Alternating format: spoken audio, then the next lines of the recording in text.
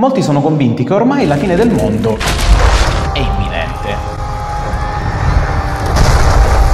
I Mai effettivamente l'avevano predetta per il 2012, ma a quanto pare siamo ancora tutti qui e quindi forse c'è stato un errore. Uh-oh. Addirittura si pensa che l'errore sia stato di trascrizione, che anziché 2012 volevano scrivere 2021, quindi adesso.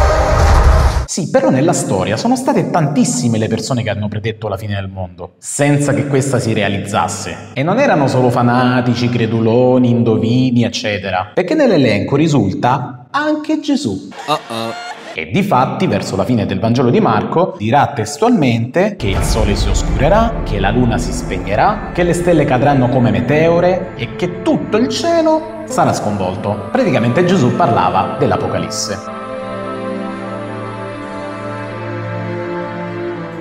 Eppure, ancora una volta, siamo ancora tutti qui e della fine del mondo non c'è traccia. Che significa? Che pure Gesù si è sbagliato? Beh, stiamo molto calmi perché quando Gesù parla non lo fa a bambera. Diciamo che quando ha detto queste cose Gesù si riferiva alla generazione di quel tempo. Ma siccome le sue parole non passeranno, questo vuol dire che parla anche alla nostra generazione. E che ci dice? Ci dice che lo sconvolgimento del cielo non deve essere per forza astrale, perché basta guardarci un attimino dentro e ci rendiamo subito conto di quanto il nostro cielo interiore è già sconvolto di suo, con episodi improvvisi, dolorosi e spaventosi. Infatti, nella tua vita, quante volte il sole si è oscurato? Quante volte la tua luna, unica luce che illuminava il tuo buio, si è spenta? Quante volte le tue stelle, cioè i tuoi punti di riferimento, sono caduti e tu ti sei sentito smarrito? Questi sono i momenti in cui la nostra vita, prima ancora del mondo, è veramente sconvolta. Ora, se Gesù si fosse fermato a queste cose, la nostra paura sarebbe soltanto aumentata e noi saremmo praticamente morti senza speranza. E invece è proprio in quel momento che arriva il bello, perché Gesù stesso dirà che sarà proprio quello il momento in cui il figlio dell'uomo finalmente si farà avanti con potenza, perché quello che tu chiami tempo d'angoscia, lui lo chiama tempo di salvezza. Tu magari sei concentrato a tenerti a tutti i costi il tuo cielo e la tua terra vecchi, cercando di riaccendere il sole e la luna o di rimettere a posto le stelle, ma ti perderai solo in ansie inutili perché è proprio in quel momento che Dio sta arrivando con un nuovo cielo e una nuova